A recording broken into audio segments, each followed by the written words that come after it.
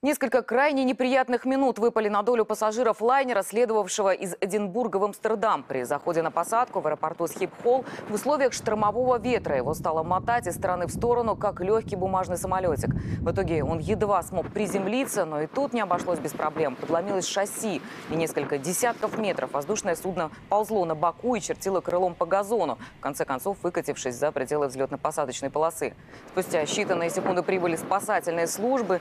Первым делом они приступили к эвакуации перепуганных пассажиров. Все обошлось, и никто из 60 находившихся на борту человек не пострадал.